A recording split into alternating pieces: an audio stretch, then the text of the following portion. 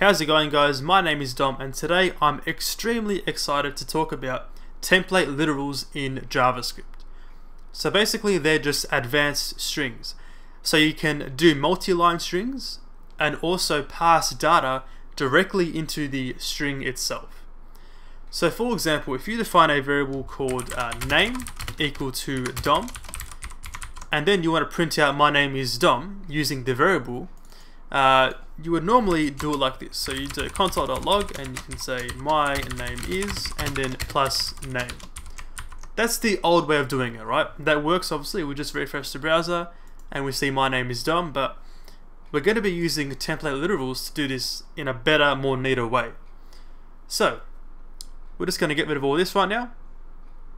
Instead, we're going to say console.log and we're going to use the backtick uh, character. So the top left of your keyboard, right near the 1, you have these two backticks. So that is the, the symbol for the template literal. So now you can say my name is, and using a dollar sign followed by uh, curly braces, inside here is where you put your JavaScript code or logic or whatever. So for example, you can put down name. So this is saying my name is, and then it's using that right there to grab the value of name. So now in the browser, we'll just refresh this one. And we see my name is Dom, the same result.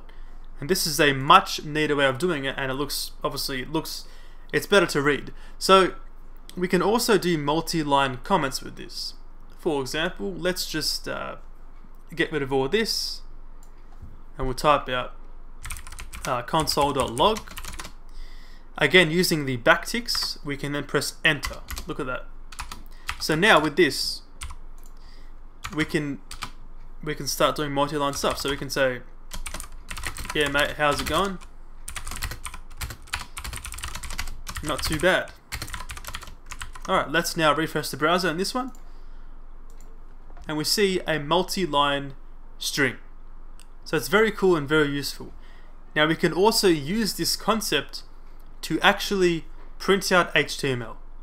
So for example, if we get rid of this and then just say document.write, by the way, uh, don't use document.write, it's like a old feature and apparently it's bad to use, so don't use that, but as an example, if we just say document.write, and then we can put some HTML in here. For example, we can put down uh, h1, title, and even paragraph tag and say, yeah mate, not bad.